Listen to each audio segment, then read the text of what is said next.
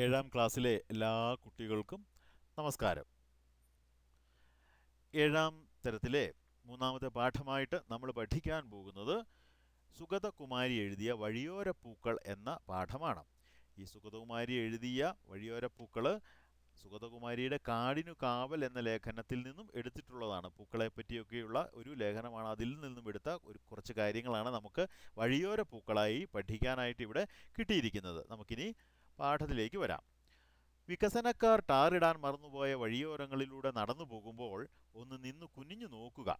നഗരമാലിന്യങ്ങൾക്കിടയിൽ പോലും അങ്ങിങ്ങി കാണാം. നാട്ടിൻ പുറങ്ങിലാ പുറങ്ങളിലാണെങ്കിൽ പിന്നെ പറയുകയും വേണ്ട. പ്രകൃതി ഒരുക്കിയ ചെറു പൂന്തോട്ടങ്ങൾ. അതാണ് സുഗതകുമാരി നമ്മൾ പറയുന്നത്. വികസനക്കാർ ടാറിടാൻ മറന്നുപോയ വഴിയോരങ്ങളിലൂടെ അതായത് ഇപ്പോഴെല്ലാവിടെ എല്ലാ സ്ഥലങ്ങളിലും വികസനം വന്ന എല്ലാ റോഡുകളും ടാറിട്ടു അല്ലെങ്കിൽ കുറച്ച് റോഡുകൾ കോൺക്രീറ്റ് പാകിയൊക്കെയാണ് റോഡുകളെ മണ്ണിൽ നിന്നും മറച്ചിരിക്കുകയാണ്. മണ്ണിനെ നമുക്ക് കാണാൻ പറ്റുകയില്ല. പക്ഷെ അങ്ങനെയല്ലാത്ത വികസന ഈ ടാറിടാൻ വന്നവരൊക്കെ അല്ലെങ്കിൽ നഗരത്തെ വികസിപ്പിക്കാൻ വന്നവരൊക്കെ മറന്നുപോയ ചില വഴികളുണ്ട്. ആ വഴികളിൽ ടാർ ഇട്ടിട്ടില്ല. ആ വഴികളുടെ ഓരത്തുകൂടി വശത്തുകൂടി നമ്മളിങ്ങനെ നടന്നു പോകുമ്പോൾ ഒന്ന് നിന്ന് കുനിഞ്ഞു നോക്കണം. എന്താണ്? കുനിഞ്ഞു അങ്ങനെ നോക്കുമ്പോൾ നമുക്ക് കാണാൻ പറ്റും. നഗരമാലിന്യങ്ങൾക്കിടയിൽ പോലും അങ്ങിങ്ങ് കാണാം. ആ നഗരത്തിലെ ചപ്പുചവറുകൾ കൂടിക്കിടക്കുന്നതിനിടയിലാണെങ്കിൽ പോലും നമുക്ക് കാണാം. അതല്ല ഇനി നാട്ടിൻപുറങ്ങളിലാണെങ്കിൽ നാട്ടിൻപുറത്താണെങ്കിൽ ഗ്രാമങ്ങളിലൊക്കെ ആണെങ്കിൽ പറയുകയും വേണ്ട. പ്രകൃതി ഒരുക്കിയ ചെറു പൂന്തോട്ടങ്ങൾ വളരെയധികം ചെറിയ ചെറിയ പൂന്തോട്ടങ്ങൾ നമ്മൾക്ക് വഴികളുടെ വശങ്ങളിൽ കാണാൻ പറ്റുമെന്നാണ് സുഗതകുമാരി നമ്മളോട് പറയുന്നത്. പിന്നീട് പറയുന്നത് പേരില്ലാ പൂക്കൾ എന്നാണ്. പേരില്ലാ പൂക്കളെ പറ്റിയാണ് ഇനി പറയാൻ പോകുന്നത്. വഴിയോര പൂക്കളെ ശ്രദ്ധിച്ചു നോക്കിയിട്ടുണ്ടോ? കുനിഞ്ഞു നോക്കി നിന്നിട്ടുണ്ടോ? ക്ഷമയോടെ സ്നേഹത്തോടെ അവയെയും അവയുടെ കൊച്ചു ലോകത്തെയും ഒന്ന് നോക്കി എറിയാൻ നിങ്ങൾക്ക് സമയമുണ്ടാകുമോ? നമ്മൾ ഈ വഴിയിൽ കൂടി പോകുമ്പോൾ വഴി ഓരത്ത് നിൽക്കുന്ന പൂക്കളെ നോക്കിയിട്ടുണ്ടോ എന്നാണ് ചോദിക്കുന്നത്. അവയെ ശ്രദ്ധിച്ചിട്ടുണ്ടോ? ക്ഷമയോടെ സ്നേഹത്തോടെ അവയെ നമ്മൾ നോക്കിയിട്ടുണ്ടോ? അവരുടെ ലോകത്തെപ്പറ്റി ആ ചെടികളുടെ ലോകത്തെപ്പറ്റിയും ചെടികളെപ്പറ്റിയും അറിയാൻ നമുക്ക് സമയം കിട്ടിയിട്ടുണ്ടോ? കാരണം നമ്മുടെ വീടുകളിലാണെങ്കിൽ നമ്മൾ നട്ടുപരിപാലിക്കുന്ന വളർത്തുന്ന ഗാർഡനിൽ വളർത്തുന്ന ചെടികളെ നമ്മൾ വളരെ സ്നേഹത്തോടെ പോയി തലോടും അല്ലേ? അവയെ തലോടും. അവയിൽക്ക് എന്താണ് ദിവസവും സംഭവിക്കുന്നത് എന്ന് നമ്മൾ നോക്കും. പക്ഷേ ഈ വഴിയോരങ്ങളിൽ നിൽക്കുന്ന പൂക്കളെ ആരും ശ്രദ്ധിക്കാറില്ല. അതിനുള്ള സമയം നമുക്കാർക്കും കിട്ടാറില്ല. എങ്കിൽ ഇതാ നോക്കിക്കാണുക. പുലർച്ചയ്ക്ക് വിടരുകയും വെയിലാകുമ്പോഴേക്ക് കൂമ്പുകയും ചെയ്യുന്ന അതിപേലവമായ അഞ്ചിതൾ പൂക്കളുണ്ട്. നിങ്ങൾക്ക് സമയം കിട്ടാറില്ല എങ്കിൽ കിട്ടാത്തവരാണെങ്കിൽ നിങ്ങൾ കണ്ടോളൂ. ഞാൻ പറഞ്ഞു തരാമെന്നാണ് സുഗതകുമാരി നമ്മളോട് പറയുന്നത്. എന്തൊക്കെയാണ്? പുലർച്ചയ്ക്ക് വിടരുകയും വെയിലാകുമ്പോഴേക്ക് കൂമ്പുകയും ചെയ്യുന്ന അതിപേലവമായ അഞ്ചിതൾ പൂക്കൾ നല്ല മൃദുവായ മനോഹരമായ അഞ്ചിതളുള്ള പൂക്കൾ അവ പുലർച്ചയാകുമ്പോൾ നേരം വെളുക്കുമ്പോൾ വിടരുകയും വെയിൽ വരുമ്പോഴേക്ക് കൂമ്പിപ്പോവുകയും ചെയ്യും. അങ്ങനത്തെ പൂക്കളുണ്ട് അതിനകത്ത്. പിന്നെ ഹൃദയഭാഗത്ത് ഇരുണ്ട ചുവപ്പ് കൊണ്ട് ഒരു പൊട്ടു തട്ടവ അങ്ങനെയുള്ള പൂക്കളുണ്ട്. ഹൃദയഭാഗം എന്ന് പറഞ്ഞാൽ പൂക്കളുടെ മധ്യഭാഗത്ത് നടുഭാഗത്ത് ചുവപ്പ് നിറം കൊണ്ട് ചെറിയ പൊട്ടു തൊട്ടവ അങ്ങനെയുള്ള പൂക്കളുണ്ട്. അവ ചൂട് തട്ടിയാൽ ഉടൻ കണ്ണടച്ച് കളയും. ആ വെയിൽ വന്നാൽ ഉടനെ ഇവയും കണ്ണങ്ങ് അടച്ചു കളയും കൂമ്പിപ്പോകും. പറയാനാവാത്ത ഒരു തെളിനീലയിൽ മുങ്ങിയ കുഞ്ഞു പൂക്കളുണ്ട്. നല്ല തെളിഞ്ഞ ഒരു നീല കളറുള്ള നീല നിറമുള്ള കുഞ്ഞു പൂക്കളുണ്ട്. നക്ഷത്രം പോലെയുള്ള കൊച്ചു വെളുത്ത പൂക്കളുണ്ട്. ആ അത് നമ്മൾ കണ്ടിട്ടുണ്ടായിരിക്കും നക്ഷത്രം പോലെ ഇങ്ങനെ നിൽക്കുന്ന വെളുത്ത ചെറിയ പൂക്കൾ വയലറ്റും ചുവപ്പ് നിറത്തിലുള്ളൊരു ചെറു ഗോപിക്കുറി പോലുള്ളവരുണ്ട്. അങ്ങനെയുള്ള വയലറ്റും ചുവപ്പ് നിറമുള്ള ചെറിയ ഗോപിക്കുറി പോലുള്ള പൂക്കളും ഈ കൂടെയുണ്ട്. മുക്കുറ്റിയെ നിങ്ങൾക്കറിയാം. മുക്കുറ്റിപ്പൂ എന്ന് നമ്മളെല്ലാം കേട്ടിട്ടുണ്ട്. അതുകൊണ്ടാണ് അങ്ങനെ പറയുന്നത് മുക്കുറ്റിയെ നിങ്ങൾക്കറിയാമെന്ന്. തീരെ ചെറിയ പൊൻ മഞ്ഞ പൂക്കൾ ചെറിയ മഞ്ഞ നല്ല മഞ്ഞ കളറുള്ള തീരെ ചെറിയ പൂക്കളാണ്. അരിമണിയുടെ വലിപ്പത്തിലുള്ള ഇളം പച്ച പച്ചപ്പൂക്കളുള്ളൊരു കൊച്ചു ചെടിയുണ്ട്. ഇലക്കീഴിൽ തരിമുത്തുപോലെ പച്ചമണികൾ നിരത്തി വെച്ച കീഴാർ നെല്ലിയെയും നിങ്ങൾക്ക് പരിചയം കാണും. കീഴാർ നെല്ലി എന്നുള്ള പേര് നമ്മുടെ വീട്ടിലൊക്കെ നിങ്ങളുടെ മമ്മിമാരോട് അമ്മമാരോടൊക്കെ ചോദിച്ചാൽ അറിയാം കീഴാർ നെല്ലി എന്താണ് എന്ന്. അതൊരു പച്ചമരുന്നായിട്ട് നമ്മൾ ഉപയോഗിക്കുന്നതാണ്. അതിന് ഇലയുടെ കീഴിൽ തരിമുത്തുപോലെ പച്ചമണികളാണ് ഉള്ളത്. അതാണ് കീഴാർ നെല്ലി. പക്ഷേ ആ പഞ്ചാരത്തരികൾ പോലുള്ള പൂക്കളുള്ള കുഞ്ഞിച്ചെടിയുടെ പേരെന്താണ്? അങ്ങനെ ഒരു ചെടിയും അവിടെ നിൽപ്പുണ്ട് പക്ഷേ അതിന്റെ പേരറിയില്ല. പഞ്ചാരത്തരികൾ പഞ്ചസാരയുടെ തരികൾ പോലുള്ള പൂക്കളുള്ള കുഞ്ഞു ചെടിയാണ്. അതിന്റെ പേരറിയില്ല. ഇളം റോസ് നില നിറത്തിലുള്ള അകത്തൊരു ചുവന്ന കുഞ്ഞു പൊട്ടുതൊട്ട പൂക്കളുള്ള ചെടിയോ? അങ്ങനെ ഒരു ചെടിയും അവിടെ നിൽപ്പുണ്ട് മഞ്ഞ പച്ച നിറത്തിൽ പൂവിട്ട് നിൽക്കുന്ന ആ പുല്ലിന്റെ പേരാണ് എന്താണ്? ആ ഒരു തരം പുല്ല് അവിടെ നിൽപ്പുണ്ട് മഞ്ഞ പച്ച നിറത്തിൽ മഞ്ഞയും പച്ചയും കലർന്ന നിറത്തിൽ പൂവിട്ട് നിൽക്കുകയാണ്. ആ പുല്ലിന്റെ പേര് ആ പുല്ലിന്റെ പേരെന്താണെന്നാണ്. ഈ പടരുന്നത് കറുകയല്ലേ? കറുകച്ചെടി. കറുക എന്ന് പറയുന്ന ഒരുതരം മരുന്ന്. അതും പച്ചമരുന്നാണ്. അത് മുത്തങ്ങാപ്പുല്ലല്ലേ? മറ്റേ കുറച്ച് കുറച്ചവിടെ മാറി നിൽക്കുന്നു. മുത്തങ്ങാപ്പുല്ല്. മുത്തങ്ങാപ്പുല്ലിന് നിറയെ വെൺമുത്തുപൂക്കൾ വിരിയുമെന്നറിയാമോ? മുത്തങ്ങാപ്പുല്ലിൽ നിറയെ പൂക്കൾ വിരിയും. നിങ്ങൾക്കറിയാമോ എന്നാണ് ചോദിക്കുന്നത്. ഇത് കൊടങ്ങലല്ലേ? അടുത്ത വേറൊരു ചെടിയാണ് കൊടങ്ങൽ എന്ന് പേരുള്ളത്. തൂവൽ പോലെ നീളൻ പൂങ്കുല ചൂടി നിൽക്കുന്ന പാവം പുല്ലുകളുണ്ട്. നിലം പറ്റിക്കിടന്ന് വയലറ്റ് കുത്തുകൾ പോലെ പൂക്കൾ നിരത്തുന്നൊരു പടർപ്പൻ ചെടിയുണ്ട്. ഞാൻ തൊട്ടയുടൻ എന്നെ പേടിച്ച് കൂപ്പി തൊഴുത് പിൻവാങ്ങിയ തൊട്ടാവാടിയുടെ പൂക്കൾ പിങ്കു നിറമുള്ള അല്ലികൾ നിറഞ്ഞ മനോഹര ഗോളങ്ങളാണ്. ആ നമ്മൾ കണ്ടിട്ടുണ്ടായിരിക്കാം തൊട്ടാവാടിയുടെ. നിങ്ങൾ നാട്ടിലൊക്കെ പോകുമ്പോൾ ശ്രദ്ധിച്ചാൽ അറിയാം എല്ലായിടത്തും കാണാൻ പറ്റും തൊട്ടാവാടി പൂക്കൾ തൊട്ടാവാടി ചെടിയും തൊട്ടാവാടി പൂക്കളും.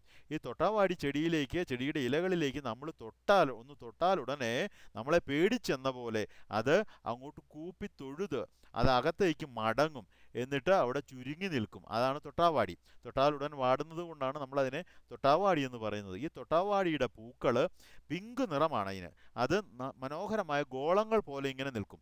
നാട്ടിൽ പോകുമ്പോൾ ശ്രദ്ധിച്ചാൽ നമുക്ക് മനസ്സിലാകും തൊട്ടാവാടി പൂക്കളും തൊട്ടാവാടിയും. വഴിച്ചരിവിൽ കടും വയലറ്റ് നിറത്തിൽ പൂത്തു ചമഞ്ഞു നിൽക്കുന്ന കദളിച്ചെടിയെ പൂവ് പറിക്കുന്ന പിള്ളേർക്കറിയാം. ആ പൂവ് പറിക്കാൻ പോകുന്ന പിള്ളേർക്കറിയാം. വഴിയുടെ ചെരുവുകളിലൊക്കെ കടും വയലറ്റ് നിറത്തിൽ പൂത്ത് ചമഞ്ഞു നിൽക്കുന്ന കദളിച്ചെടി. കദളിച്ചെടി എന്നും പറഞ്ഞൊരു ചെടിയുണ്ട്. നല്ല വയലറ്റ് കളറാണ്. നല്ല രസമാണ് കാണാൻ. അതൊക്കെ പൂവ് പറിക്കാൻ പോകുന്ന പിള്ളേർക്കറിയാം. പൂക്കളം ഒരുക്കാൻ വേണ്ടത്ര വലിപ്പവും ചന്തവും ഉണ്ടല്ലോ അവയ്ക്ക്. പക്ഷേ സൂക്ഷിച്ചു നോക്കിയില്ലെങ്കിൽ മനസ്സിലാകാത്ത വിധം സൂക്ഷ്മമായി. എന്നാൽ അഴകിന്റെ നിറബിന്ദുക്കളായി കുഞ്ഞിതളുകൾ വിരിച്ച് സൂര്യനെ നോക്കി നിൽക്കുന്ന ആയിരം ആയിരം ചെറുപൂക്കളുണ്ട്. ആ മനോഹരമായ ആയിരമായിരം ആയിരം ചെറിയ പൂക്കളുണ്ട് പ്രകൃതിയിൽ മനുഷ്യൻ അവയ്ക്ക് പേരിട്ടിട്ടില്ലെങ്കിൽ എന്ത്? പ്രകൃതി അവയ്ക്ക് മടിയിലിരുത്തി പേര് വിളിച്ചു കാണും. കുഞ്ഞു നക്ഷത്രമെന്നോ മണിക്കുട്ടിയെന്നോ ചെല്ലക്കുട്ടിയെന്നോ കൺമണിയെന്നോ മുത്തെന്നോ മഞ്ഞു തുള്ളിയെന്നോ കുഞ്ഞോമനയെന്നോ മാണിക്യമെന്നോ എന്തൊക്കെയോ പേരുകൾ അവയ്ക്കുണ്ടായിരിക്കും. പ്രകൃതി തന്നെ അവയ്ക്ക് പേരിട്ടിട്ടുണ്ട് എന്നാണ് ഈ എഴുത്തുകാരി നമ്മളോട് സുഗതകുമാരി നമ്മളോട് പറഞ്ഞു തരുന്നത്. പ്രകൃതി തന്നെ അവയ്ക്ക് എന്തെങ്കിലും പേരുകളൊക്കെ ഇട്ടിട്ടുണ്ടായിരിക്കാം. ആയിരം ആയിരം ചെടികളുണ്ട്. അവയ്ക്കെല്ലാം പ്രകൃതി പേരുകളും ഇട്ടിട്ടുണ്ട്. പക്ഷേ ഞാൻ ഈ പറഞ്ഞ പേരുകളൊക്കെ നമ്മുടെ ഭാഷയല്ലേ? ആ നമ്മുടെ ഭാഷയിലുള്ള പേരുകളാണ് ഈ പറഞ്ഞതൊക്കെ.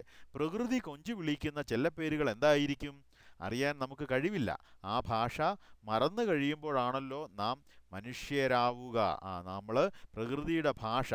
അത് മറന്നു കഴിയുമ്പോഴാണ് നമ്മൾ മനുഷ്യരാവുക എന്നാണ് പറയുന്നത്. സുഗതകുമാരി പറയുന്നത് പ്രകൃതിയുടെ ഭാഷ നമ്മൾ മറന്നു കഴിയുമ്പോഴാണ് നാം മനുഷ്യരാകുന്നത്. പ്രകൃതിയിൽ നിന്ന് നാം മാറുന്നു. പ്രകൃതിയെ നാം മറക്കുന്നു. അപ്പോഴാണ് നാം മനുഷ്യരാവുക. അപ്പോഴാണ് മനുഷ്യൻ മനുഷ്യനായി മാറുക. പ്രകൃതിയുമായി ബന്ധമൊന്നും ഇല്ലാതായി കഴിയുമ്പോഴാണ് നമ്മൾ മനുഷ്യരായി മാറുക എന്നാണ് സുഗതകുമാരി ഇവിടെ നമ്മോട് സൂചിപ്പിക്കുന്നത്. അടുത്തതായി സുഗതകുമാരി പറയുന്നത് താമസക്കാർ പലവിധം എന്നാണ്. എന്നൊരു ചെറിയ തലക്കെട്ടോടുകൂടിയാണ് ബാക്കി നമുക്ക് നോക്കാനുള്ളത്. പൂക്കളും ഇലകളും തളിർനാമ്പുകളും പടർപ്പുകളും വേരുപടലങ്ങളും ചെറുകൂണുകളും പൂപ്പലുകളും നിറഞ്ഞ ഏറെ ചവിട്ടിത്തേക്കപ്പെടാത്ത ആ ലോകത്തിൽ എത്രയെത്ര താമസക്കാരും വിരുന്നുകാരും ഉണ്ടെന്ന് കൂടി നോക്കുക. ആ പ്രകൃതിയെപ്പറ്റി സുഗതകുമാരി വളരെ വിശദമായിട്ടാണ് പറയുന്നത് നമ്മളോട്. പൂക്കളും ഇലകളും തളിർനാമ്പുകളും കൂണുകളും പൂപ്പലും എല്ലാം നിറഞ്ഞ് ഏറെ ചവിട്ടിത്തേക്കപ്പെടാത്ത ആ ലോകത്തിൽ ആരും അധികം ചവിട്ടി ചവിട്ടാൻ ചെല്ലാത്ത ആ ലോകത്തിൽ എത്ര താമസക്കാരും വിരുന്നുകാരും ഉണ്ടെന്ന് കൂടി നമ്മൾ നോക്കണമെന്ന്. നീലച്ചിറകുകൾ നീലച്ചിറകുള്ള ചെറുതുമ്പികൾ തേനീച്ചകൾ മഞ്ഞത്തുമ്പികൾ വിചിത്ര രൂപികളായ പ്രാണികൾ ചെറു ശലഭങ്ങൾക്ക് വെളുത്തും മഞ്ഞിച്ചും കൊച്ചു പൊട്ടുകൾ തൊട്ടവയുമായ ചെറു ചിറകുകളാണ്. ആ ചെറിയ ചെറിയ ശലഭങ്ങളുണ്ട് ബട്ടർഫ്ലൈസ് ചെറു ചെറിയ ശലഭങ്ങളാണ്. അവയ്ക്ക് വെളുത്ത് വെളുപ്പും മഞ്ഞയും നിറഞ്ഞ കൊച്ചു പൊട്ടുകൾ തൊട്ട ചെറിയ ചിറകുകളുണ്ട്. പലതരം ഉറുമ്പുകൾ പുൽച്ചാടികൾ ചെറുവണ്ടുകൾ പവിഴപ്രാണികൾ സ്വന്തം വീടും ചുമന്ന് നടക്കുന്ന തീരെ ചെറിയ ഒച്ചുകൾ. കണ്ടിട്ടുണ്ടായിരിക്കാം നമ്മളിതൊക്കെ അല്ലേ? ചെറുപുഴുക്കൾ പൊന്നട്ടകൾ ചെറു ചിലന്തികൾ കട്ടുറുമ്പുകൾ വലകെട്ടുന്ന ചിലന്തി ഉറുമ്പുകൾ തീരെ ചെറിയ പവിഴവാലുള്ള അരണകൾ ഈ അരണകളാവണം ആ ചെറുവനത്തിലെ ആനകൾ. അപ്പോൾ ഈ ചെറിയ വനത്തെപ്പറ്റിയാണ് പറയുന്നത്. നമ്മുടെ വഴിയുടെ ഓരങ്ങളിൽ കാണുന്ന ചെറിയ ചെറിയ പുൽ പുല്ലുകൾ നിറഞ്ഞു നിൽക്കുന്ന പൂന്തോട്ടങ്ങളുണ്ട്. അവയ്ക്ക് അവയിൽ ജീവിക്കുന്നതായ ജീവികളുമുണ്ട്. അതിനെപ്പറ്റിയൊക്കെയാണ് സുഗതകുമാരി പറഞ്ഞു തരുന്നത്. ആ ചെറിയ പൂന്തോട്ടത്തിലെ ഒരു വനമാക്കി മാറ്റിയാൽ ആ വനത്തിലെ ഏറ്റവും വലിയ ആനകളായിരിക്കാം ഈ അരണകൾ എന്നാണ് പറയുന്നത്. എപ്പോഴും ആ കുഞ്ഞു പൂക്കളെ ഉമ്മ വെച്ച് തേൻ നുകരുന്ന നൂറു നൂറ് കൊച്ചു ദാഹങ്ങൾ. പിന്നെ മനുഷ്യദൃഷ്ടിക്ക് അദൃശ്യരായ കോടിക്കണക്കിന് സൂക്ഷ്മാണുജീവികളും. അവയാണത്രേ മണ്ണിന് ജീവചൈതന്യം നൽകുന്നവർ. ഇവരെല്ലാം കൂടി കൂടിച്ചേർന്ന് കൊണ്ടും കൊടുത്തും തഴച്ചും തഴപ്പിച്ചും വിളങ്ങുന്ന അതിസുന്ദരമായ ഒരു അത്ഭുത ലോകമാണ് പാതയോരത്തെ ഈ പാഴ് പച്ചപ്പുകൾ എന്ന് നാം അറിയുന്നുണ്ടോ? പാഴയ പാതയോരത്ത് വഴിയുടെ ഓരത്ത് നമ്മൾ ഉപേക്ഷിച്ചിട്ടിരിക്കുന്ന നമ്മൾ ശ്രദ്ധിക്കാത്ത നമ്മൾ നിന്ന് നോക്കാൻ മെനക്കെടാത്ത നമുക്ക് സമയം കിട്ടാത്ത ഈ പാതയോരത്തെ പാഴ് പച്ചപ്പുകൾ എന്നാണ് പറഞ്ഞിരിക്കുന്നത്. ആ നമ്മൾ വലിച്ചെറിഞ്ഞ ശ്രദ്ധിക്കാത്ത പച്ചപ്പുകളിൽ എന്തൊരു അത്ഭുത ലോകമാണ് എന്നാണ് സുഗതകുമാരി നമ്മളോട് പറയുന്നത്. അവയിലെ ജീവികൾ എന്തൊക്കെയാണെന്ന് പറഞ്ഞു അവയെ എങ്ങനെയാണ് ജീവിക്കുന്നതെന്ന് പറഞ്ഞു ഇതൊക്കെ നമ്മളോട് പറഞ്ഞു. എന്നിട്ടാണ് പറയുന്നത് ഈ പാഴ് പച്ച പച്ചപ്പുകളെ പറ്റി നമ്മൾ അറിയുന്നുണ്ടോ? അറിഞ്ഞാലും ഫലമുണ്ടോ? ഇല്ല. വികസനം എന്നാൽ എല്ലാം മുടിച്ച് വെളുപ്പിക്കുക എന്നുകൂടിയാണ്. അപ്പോൾ സുഗതകുമാരി നമ്മളോട് പറഞ്ഞു തരുന്നത് നമ്മുടെ വികസനത്തെ പറ്റിയാണ് വികസനം കൊണ്ട് നമ്മൾ എന്തെല്ലാം നശിപ്പിക്കുന്നു പ്രകൃതിയെ നമ്മൾ അറിയാൻ മടിക്കുന്നു. പ്രകൃതിയെ അറിയാൻ നമുക്ക് സമയമില്ല. പ്രകൃതിയിൽ എന്തൊക്കെയാണ് ഉള്ളതെന്ന് നമുക്കറിയാൻ പറ്റുന്നില്ല. പക്ഷേ ഇതിനാരും നമ്മൾ മെനക്കെടാറില്ല. വികസനം മാത്രം മതി നമുക്കെല്ലാം നശി നശിപ്പിച്ചുകൊണ്ട് വികസനം കൊണ്ടുവരികയാണ്. മണ്ണ് കാണുന്നിടത്തെല്ലാം കോൺക്രീറ്റ് പാകുകയും ടാറിടുകയും ചെയ്യുന്നു. മരങ്ങളെ വെട്ടി നശിപ്പിച്ച് അവിടെ കൂറ്റൻ കൂറ്റൻ വീടുകൾ അല്ലെങ്കിൽ കോൺക്രീറ്റ് വീടുകളൊക്കെ ബിൽഡിങ്ങുകളൊക്കെ പണിയുന്നു. അപ്പോൾ ഇതൊക്കെയാണ് സുഗതകുമാരി നമ്മളോട് പറഞ്ഞു തരുന്നത്. നമ്മൾ ചെയ്യരുതാത്ത കാര്യങ്ങളാണ് ഇതെല്ലാം എന്നാണ് സുഗതകുമാരി നമ്മളോട് പറഞ്ഞു തരിക. റോഡ് വക്കിൽ കാട് പിടിച്ചാലോ? മോശം. വെട്ടിക്കളയുവിൻ. വെടിപ്പാക്കുവിൻ. എന്നിട്ട് കോൺട്രാക്ടറെ വിളിച്ച് കരിങ്കൽ ചില്ലിയിട്ട് അടിച്ചുറപ്പിച്ച് തിളയ്ക്കുന്ന ടാർ ഉരുക്കി ഒഴിക്കുവിൻ. മിനുസമാവട്ടെ. എന്തൊരു ഭംഗി. കറുത്തു തിളങ്ങി മിനുത്ത് ചത്തു കിടക്കുന്ന ആ ചുട്ടുപഴുത്ത ഇടത്തിലൂടെയാവട്ടെ ഇനി നിങ്ങളുടെ നടത്തം. കാലു പൊള്ളുന്നോ? ഭൂമിക്ക് പൊള്ളുന്നത് പോലും നാം കൂട്ടാക്കാറില്ല. പിന്നെയല്ലേ നിങ്ങളുടെ കാൽ. നഗ്നപാതർ പോയി ചാവട്ടെ. അപ്പോൾ സുഗതകുമാരി പിന്നീട് പറയുന്നത് ഈ റോഡ് വക്കിൽ കാട് പിടിച്ചാലോ? റോഡിന്റെ സൈഡുകളിൽ വഴിയോരങ്ങളിൽ കാടങ്ങാനും പിടിച്ചാൽ അതെല്ലാം മോശമാണ്. ഉടനെ എല്ലാം വെട്ടിക്കളയുകയാണ്. എന്നിട്ട് വൃത്തിയാക്കിയിട്ട് കോൺട്രാക്ടർ വന്നിട്ട് കരിങ്കൽ ചില്ലിയൊക്കെ ഇട്ട് അടിച്ചുറപ്പിച്ച് അതിൽ ടാർ ഉരുക്കി ഒഴിക്കും. നല്ല മിനുസം വരാൻ വേണ്ടി. അതാണ് ഭംഗി എന്നാണ് നമ്മൾ കരുതുന്നത് എന്നാണ് സുഗതകുമാരി പറയുന്നത്. കറുത്തു തിളങ്ങി മിനുത്ത് ചത്തു കിടക്കുന്ന ആ ചുട്ടുപഴുത്ത ഇടത്തിലൂടെയാവട്ടെ ഇനി നിങ്ങളുടെ നടത്തം. അതായത് ഇങ്ങനെ ടാർ ടാർ ഉരുക്കി ഒഴിച്ച് മിനുസപ്പെടുത്തി ആ സ്ഥലങ്ങളിലൂടെ ആകട്ടെ നമ്മുടെ നടത്തം. അപ്പോൾ എന്താണ് സംഭവിക്കുന്നത് വെയിലില്ല നമ്മൾ നടക്കുന്നതെങ്കിൽ നമ്മുടെ കാൽ പൊള്ളും. അപ്പോൾ അങ്ങനെ നമുക്ക് കാൽ പൊള്ളുമ്പോൾ നമ്മൾ ഈ കാര്യങ്ങളെല്ലാം നമ്മൾ വരുത്തി വെച്ചിട്ട് ഭൂമിയുടെ പൊള്ളലിനെ പറ്റി നമ്മൾ ചിന്തിക്കുന്നില്ല. ഭൂമിക്ക് പൊള്ളുന്നുണ്ട്. ആ ഇത് മനുഷ്യരിത് ചെയ്യുന്നതെല്ലാം കൊണ്ട് ഭൂമിക്ക് നന്നായിട്ട് പൊള്ളുന്നുണ്ട്. പക്ഷേ ഭൂമിക്ക് നമ്മളോട് പറയാൻ പറ്റുന്നില്ല. ഭൂമി ക്ഷമിച്ച് അവിടെ കിടക്കുകയാണ്. അപ്പോൾ ഭൂമിക്ക് പൊള്ളുന്നതിനെ പറ്റിയൊന്നും നമ്മൾ ചിന്തിക്കുന്നില്ല. പിന്നെയാണ് നമ്മുടെ കാൽ. എന്നിട്ടോ നഗ്നപാതർ പോയി ചാവട്ടെ. ആ വെറുതെ കാലിലൂടെ കാലുകൊണ്ട് നടക്കുന്നവർക്കല്ലേ ചെരുപ്പിടാതെ എന്തെങ്കിലും പാദരക്ഷകൾ ഉപയോഗിക്കാതെ നടക്കുന്നവർക്കാണ് പാദങ്ങൾ പൊള്ളുന്നത്. അപ്പോൾ അങ്ങനെ പാദരക്ഷകൾ ഉപയോഗിക്കാതെ നടക്കുന്നവർ പോയി ചാവട്ടെ എന്നിട്ട് പാദരക്ഷകൾ പുതിയ പുതിയ തരം പാദരക്ഷകൾ ഉപയോഗിച്ച് ഈ മിനുസപ്പെടുത്തിയ ടാറിൽ കൂടി നടക്കട്ടെ എന്നാണ് സുഗതകുമാരി കളിയാക്കുന്നത്. ഇനിയോ വഴിയോര പൂക്കളെപ്പറ്റി സംസാരിക്കുന്നത് വിഡ്ഢിത്തമാണെന്ന് അറിയാഞ്ഞിട്ടല്ല ഞാനിതൊക്കെ പറയുന്നത്. ആ സുഗതകുമാരി നമ്മളോട് പറയുന്നു എനിക്ക് ഈ കാര്യങ്ങളൊക്കെ അറിയാം. ഞാൻ ഈ പറയുന്നതെല്ലാം വിഡ്ഢിത്തമായിട്ട് നിങ്ങൾക്ക് തോന്നുകയുള്ളൂ. എന്തൊക്കെ മണ്ടത്തരങ്ങളാണ് പറയുന്നത്. വഴിയുടെ വശങ്ങളിൽ നിൽക്കുന്ന ചെറിയ ചെടികളെപ്പറ്റിയും പറ്റിയും പൂക്കളെ പറ്റിയും ആ ചെറിയ ചെറിയ കാടുകളിൽ ചെറിയ ചെറിയ പൂന്തോട്ടങ്ങളിൽ ജീവിക്കുന്ന ജീവികളെ പറ്റിയൊക്കെ പറയുന്ന ഈ സുഗതകുമാരിക്ക് മണ്ടത്തരമല്ലേ പറ സുഗതകുമാരി മണ്ടത്തരമല്ലേ പറയുന്നത്? എന്തൊരു വിഡ്ഢിത്തമാണ് പറയുന്നത് എന്നൊക്കെ നിങ്ങൾ വിചാരിക്കും ഇതൊക്കെ എനിക്ക് അറിയാൻ പാടില്ലാഞ്ഞിട്ടല്ല ഞാനിതൊക്കെ പറയുന്നത്. അവയെല്ലാം കൊല്ലപ്പെടുന്നതിന് മുമ്പ് അവയെ ഒന്ന് അവസാനമായി നോക്കി കണ്ടോളൂ എന്ന് ഉള്ളിൽ അല്ലലുള്ളവരെ ഓർമ്മിപ്പിക്കുവാൻ മാത്രമാണ് ആ ഇതിനെ ഇതൊക്കെ ഇതിനെയൊക്കെ നമ്മൾ നശിപ്പിക്കുന്നതിന് മുമ്പ് അതിനെ ഒന്ന് കാണണമെന്ന് ആഗ്രഹമുള്ളവർ ഉണ്ടെങ്കിൽ അങ്ങനെയൊരു മനസ്സിൽ വിഷമമുള്ളവരുണ്ടെങ്കിൽ അവരൊന്ന് കണ്ടോളൂ എന്നാണ് ഞാൻ ഓർമ്മിപ്പിക്കുന്നത്. ഞങ്ങൾ രാജ്യദ്രോഹികൾ വികസന മുടക്കികൾ കവികൾ ഇങ്ങനെയൊക്കെ പറയും. ആ ഞങ്ങൾ രാജ്യദ്രോഹികളാണ് വികസനം വരാൻ സമ്മതിക്കാത്തവരാണ് കവികളാണ് അങ്ങനെയൊക്കെ നിങ്ങളെല്ലാവരും പറയും. ബുദ്ധിയും വിവരവും ജീവിക്കാൻ പ്രാപ്തിയുമുള്ളവർ ഇതൊന്നും കാര്യമേക്കേണ്ടതില്ല. മറന്നു കളയുവിൻ. ആ നിങ്ങൾ നന്നായിട്ട് ബുദ്ധിയുള്ളവരും വിവരവുമുള്ളവരെ ജീവിക്കാൻ കഴിവുള്ളവരും ഒക്കെ ആയതുകൊണ്ട് നിങ്ങൾ ഞങ്ങൾ ഈ പറയുന്നതൊന്നും കാര്യമാക്കണ്ട. ഞങ്ങളിങ്ങനെ പലതും പറയും പ്രകൃതിയെപ്പറ്റി. അതൊന്നും നിങ്ങൾ കാര്യമാക്കേണ്ടതെല്ലാം മറന്നു കളയുവിൻ. എങ്കിലും ഞാൻ ഒന്നറിയുന്നു നമ്മുടെ ഓരോരുത്തരുടെ ഹൃദയത്തിലും ഒരു പിടി വഴിയോരപ്പൂക്കളുണ്ട്. ഉണ്ടായിരുന്നു. അവഗണിക്കപ്പെട്ടവ നിസാരമെന്ന് കരുതിയവ മറന്നു കളഞ്ഞവ എങ്കിലും തേനും മണവും പൂമ്പൊടിയും അഴകും ചുരത്തിയിരുന്നവ. അവയ്ക്ക് ചുറ്റും മൂളി പറക്കുന്ന തിളങ്ങുന്ന കുഞ്ഞു ചിറകുകൾ ഉണ്ടായിരുന്നു. അവയെല്ലാം നാം ഉരുകുന്ന ടാറൊഴിച്ച് കൊന്നുകഴിഞ്ഞുവോ? ഇനി ഒന്നുമില്ലേ ബാക്കി?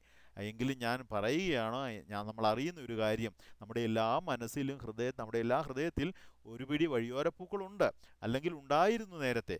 അവഗണിക്കപ്പെട്ടവ. നമ്മൾ അവയൊന്നും കാര്യമായിട്ട് എടുത്തിട്ടില്ല. നിസാരമെന്ന് കരുതി മറന്നു കളഞ്ഞു. എങ്കിലും തേനും മണവും പൂമ്പടിയും അഴകും ചുരത്തി അവ അവ വളർന്നിരുന്നു അവ നിന്നിരുന്നു. നമുക്ക് സൗരഭ്യം തന്നിരുന്നു. പ്രകൃതിയെ പ്രകൃതിക്ക് സൗരഭ്യം പകർത്തിയിരുന്നു. അവയ്ക്ക് ചുറ്റും മൂളി പറക്കുന്ന തിളങ്ങുന്ന കുഞ്ഞു ചിറകുകൾ ഉണ്ടായിരുന്നു ആ വണ്ടുകൾ. അവയ്ക്ക് ചുറ്റും ഈ പൂക്കൾക്ക് ചുറ്റും മൂളി പറന്നുകൊണ്ടിരുന്ന വണ്ടുകൾ ഉണ്ടായിരുന്നു. അവയെല്ലാം നാം നശിപ്പിച്ച് ടാർ ഒഴിച്ച് കൊന്നുകളഞ്ഞു. ഇനി ബാക്കി എവിടെയെങ്കിലും ഉണ്ടോ അത്തരത്തിൽ എന്നാണ് അന്വേഷിക്കുന്നത്.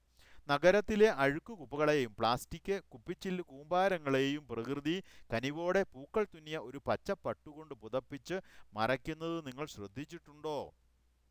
നഗരത്തിലെ അഴുക്കുകുപ്പകളെയും പ്ലാസ്റ്റിക് കുപ്പിച്ചിൽ കുമ്പാരങ്ങളെയും പ്രകൃതി കനിവോടെ പൂക്കൾ തുന്നിയ ഒരു പച്ചപ്പട്ടുകൊണ്ട് പുതപ്പിച്ചു മറയ്ക്കുന്നത് നിങ്ങൾ ശ്രദ്ധിച്ചിട്ടുണ്ടോ? നമ്മൾ എവിടെയെങ്കിലും കൊണ്ടേ കുറേ പ്ലാസ്റ്റിക് കുപ്പിച്ചിൽ അങ്ങനത്തെ വേസ്റ്റുകളൊക്കെ നമ്മൾ ഇട്ട് കഴിഞ്ഞാൽ പ്രകൃതി അവയ്ക്ക് അവയെ മറയ്ക്കാനായിട്ട് പച്ച പട്ടുകൊണ്ട് പുതപ്പിക്കും. കാരണം പ്രകൃതി അവയെ പുല്ല് കിളിപ്പിച്ചിട്ട് ഇതിനെയെല്ലാം മറച്ചു കളയും. ആ കനിവിനെ പറ്റി ചിന്തിച്ചിട്ടുണ്ടോ? ആ ഇതിനെയെല്ലാം മറച്ചു കളയാനാണ് പ്രകൃതി ഇങ്ങനെ പുല്ലുകളെ കിളിപ്പിച്ച് തരുന്നതെന്നാണ് സുഗതകുമാരി പറയുന്നത്. പ്രകൃതി നമ്മളോട് ചെയ്യുന്ന കനിവാണ്. ഈ വിധത്തിൽ കുറേ കാലം കൂടി കഴിഞ്ഞാൽ ഭൂമി എന്ന വിഷക്കൂമ്പാരത്തെയും അവൾ ഒരു കരിമ്പച്ച ശവക്കൂടി കൊണ്ട് കരുണയോടെ മൂടുകയില്ലേ എന്ന് മനസ്സ് ഭയാതുരമായി പോകുന്നത് അശാസ്ത്രീയമാണോ? ദയവായി ആലോചിക്കുക. ആ ഈ വിധത്തിൽ നമ്മളിങ്ങനെ കുറച്ചു കാലം കൂടി മുമ്പോട്ട് പോയാൽ ഭൂമി എന്ന വിഷക്കുമ്പാരത്തെയും തന്നെയും ആ ഭൂമി ഒരു കരിം പച്ച ശവക്കോടി കൊണ്ട് കുറേ പച്ചപ്പുകൾ നിറച്ച് ഭൂമിയെ തന്നെ അങ്ങ് മറച്ചു കളയും. കരു അങ്ങനെ മറച്ചിട്ട് ഭൂമിയെ തന്നെ ഒരു കരിമ്പച്ച ശവക്കോടി കൊണ്ട് കരുണയുടെ മൂടിക്കളയുകയല്ലേ നമുക്ക് കാണാൻ പറ്റാത്ത വിധം എന്ന് ഭയാ മനസ്സ് ഭയാതുരമായി പോകുന്നു. അതാണ് സുഗതകുമാരി ചിന്തിക്കുന്നത് മനസ്സിനെ ഭീതിപ്പെടുത്തുന്നു പേടിപ്പെടുത്തുന്നു. അത് അശാസ്ത്രീയമാണോ ശാസ്ത്രീയത ഇല്ലാത്തതാണോ എന്നാണ് സുഗതകുമാരി ചിന്തിക്കുന്നത് എന്നിട്ട് നമ്മളോട് പറഞ്ഞു തരുന്നു. നിങ്ങൾ ആലോചിക്കുക ഇതിനെപ്പറ്റി. ഇതാണ് സുഗതകുമാരിയുടെ വഴിയോര പൂക്കൾ എന്ന പാഠത്തിൽ നിന്ന് നമ്മൾ മനസ്സിലാക്കുന്ന കാര്യങ്ങൾ പ്രകൃതിയെ നമ്മൾ സ്നേഹിക്കണം. പ്രകൃതിയെ നമ്മൾ വെറുതെ വികസനം കൊണ്ട് മുരടിപ്പിച്ച് കളയുകയല്ല ചെയ്യേണ്ടത്. നമ്മൾ സ്നേഹിച്ച പ്രകൃതിയെ അതിന്റെതായ രീതിയിൽ വളരാൻ അനുവദിക്കുക. ഇല്ലെങ്കിൽ നമുക്ക് പ്രകൃതി തന്നെ നഷ്ടപ്പെടും. പ്രകൃതി തന്നെ പ്രകൃതിയെ നഷ്ടപ്പെടുത്തിക്കളയും. നമുക്ക് ഉപയോഗിക്കാൻ ആവാത്ത വിധത്തിൽ എന്നാണ് സുഗതകുമാരി ഈ പാഠത്തിലൂടെ നമുക്ക് പറഞ്ഞു തരുന്ന തരുന്ന കാര്യങ്ങൾ.